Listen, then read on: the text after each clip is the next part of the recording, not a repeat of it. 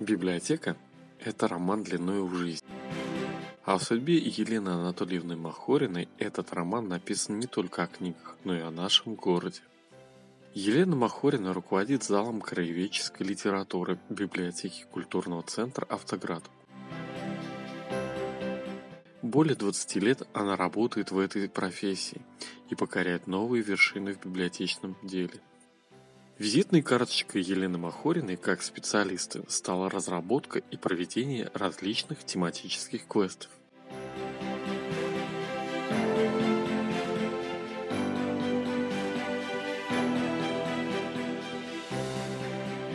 Первые подобные игры путешествия, краеведческие, патриотические и литературные, создавались в библиотечной сфере Тольятти именно ее силами и талантом.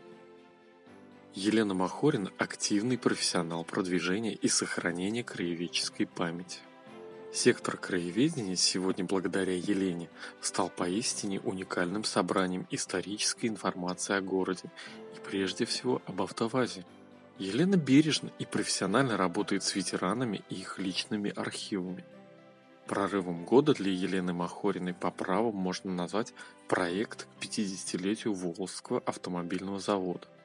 Елена координирует сбор информации для проекта, который вошел в программу 50-летия АвтоВАЗа, поддержанную и финансируемую правительством Самарской губернии.